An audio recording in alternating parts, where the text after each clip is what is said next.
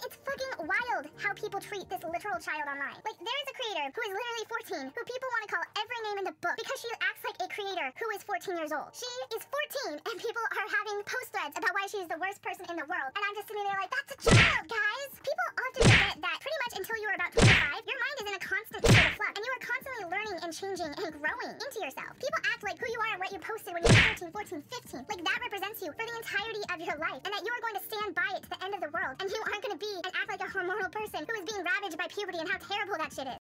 She makes a fan character out of her teacher, who she named Gizmo, takes photos of him without knowing, which he then states he told her to delete, calls him sexy, states she loves him, draws him sexually, and after feeling upset by him being cold towards her, posts a journal in which he says he, quote, emotionally raped her for not returning her feelings.